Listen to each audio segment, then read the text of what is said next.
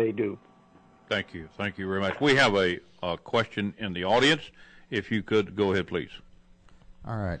Uh, my question goes back to Dick and a couple of comments that he made that we have to go this through the traditional and, and legal ramifications, despite the fact that our opposition, if you would, is doing the exact opposite. They are ignoring the Constitution, they're ignoring us, and they will continue to do so. Um, is this really a situation where we can change this through ballot boxes that are known to be corrupt? Dick, why don't, uh, uh Dick wow. or Ken, either one, please take that question. Ken, you want to take that? You know, this is this is Ken. Yeah, let me. I, I would like to pass this off to uh, to General Vallely. He's done some significant work on the notion of, of uh, forcing people to to uh, leave government. General, would you would you uh, talk about that? Ken, Ken, I'd be happy to, and thank you for the question uh, regarding what we can do. And uh, Dick and Ken have described, uh, you know, going the grassroots political route, which we have to do uh, to prepare ourselves for 2014 and 2016. But our government is so broken now that each day we go down over the over the cliff even more and more. Uh, the lack of uh, strong leadership, uh, not only uh, in the executive branch, but a lack of really strong leadership uh, in Congress, uh, both in the Democrats and the Republicans. I'm not even sure that our traditional process is going to straighten our government out in sufficient time to save us. So that leads us to what options we have. And if you look under the Constitution, we have impeachment. Now, we know with the partisan politics that that's not going to happen. So we've got Obama for another three years. I'm not confident it would happen. You also uh, have uh, the idea that uh, uh that individuals can resign. Now, that's not within the Constitution, but certainly if you look at Nixon, if we have demand resignations, and I would use the Egyptian model where they had 33 million Egyptians stand up to oust Morsi and, and the Muslim Brotherhood.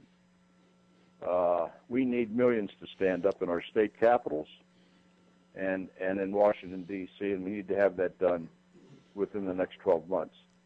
Because I can tell you, my forecast, things are going to get far worse than better, especially with Obamacare uh, and the other things that are happening, happening to degrade uh, the effectiveness of our federal government.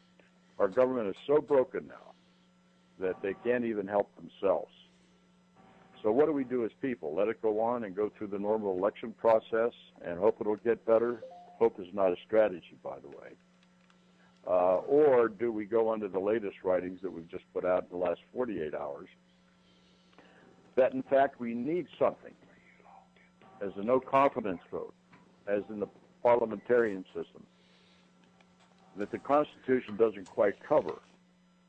But certainly there ought to be legislative action that can be taken if we had anybody in Congress that has the courage to stand up and say, let's legislate a no confidence vote in the executive branch and leading our government further uh, over the next year, second year, and third year until 2016. So uh, what we're doing now is, is giving alternatives out there and options to the American people to stand up, require a no confidence vote. And I would even legislate to get a national recall going. And uh, I think it takes a lot of pressure. The people then begin to act and stand up and do things. So what we're offering here is alternatives to other things that are not included, uh, like impeachment, uh, in the Constitution. So I think these are things we need to talk about, discuss, to get off our derrieres. If we've got to march to the state capitals, we've got to march in Washington with 100 million people, then that's what we need to do.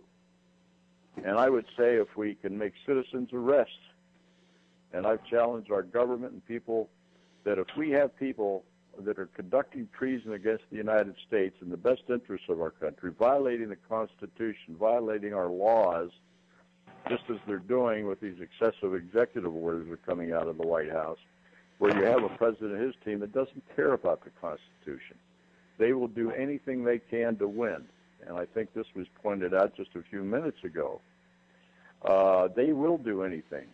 They will go for the throat. Yes.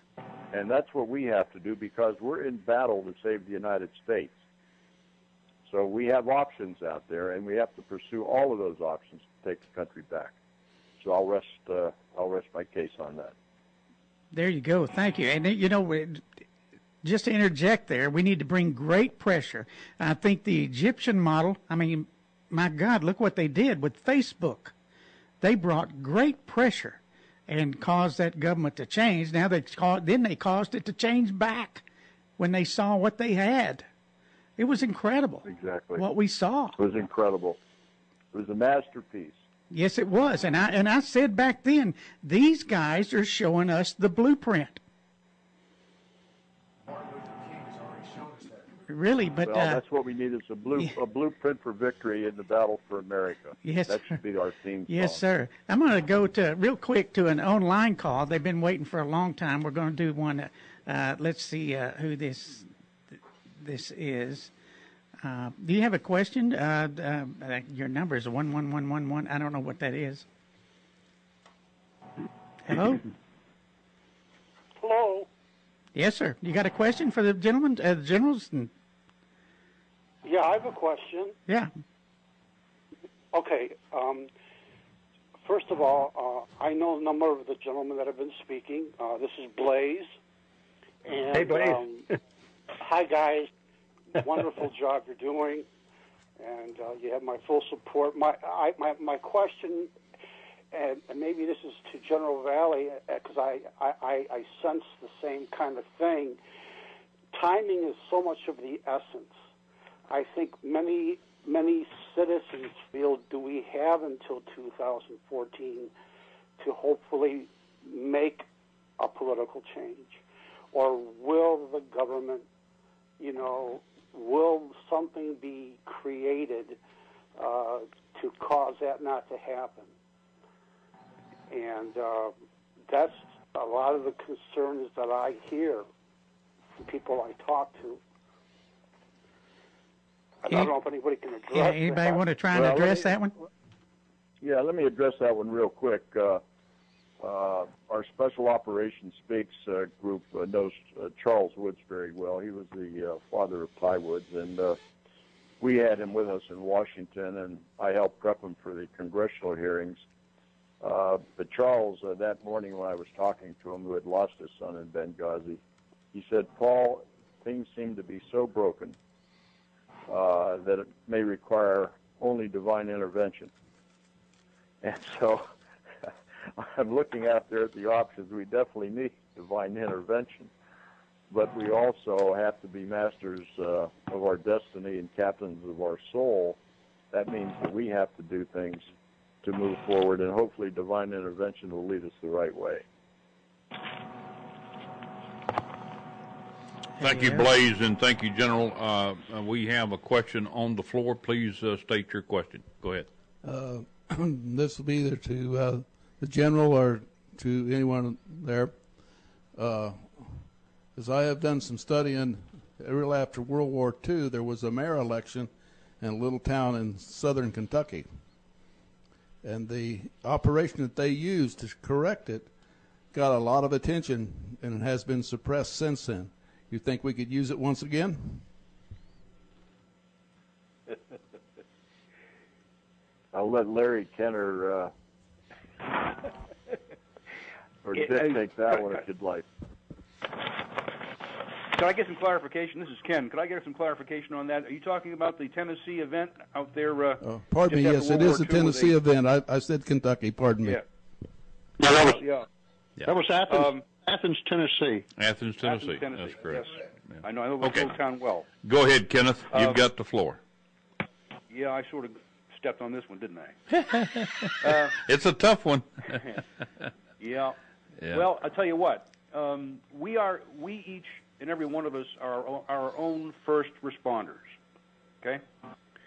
People like to say that the uh, that the local police department and the fire department and whatnot are, are the first responders, but they're our backup. So we have got to take the lead. We know we're right. We know what our rights are. And when a uh, totalitarian government takes takes hold and begins to uh, aggress against its citizens, then we've got to do what we've got to do. Okay. Um, I would I would advise I would urge everyone to, to be armed, to be trained, and to have a basic plan for protecting themselves, their families, and their communities. You can't do much more than that. Yeah. More eloquent people than myself are going to have to convince um, the American people, as General Vallely uh, uh, pointed out, to rally to the state capitals and into to Washington D.C. and make a show of force sufficient to have these people, these tyrants, step down from office or be forced out of office. We don't have much choice in the matter as, as the way things are developing. So I'll leave it at that. There you I go. hope I answered the question. Uh, Right.